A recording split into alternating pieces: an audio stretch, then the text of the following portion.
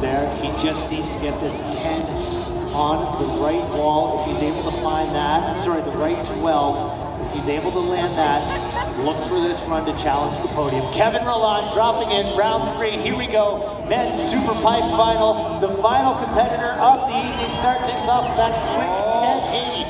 There's the right 1260. Yes, Kevin Rolland into the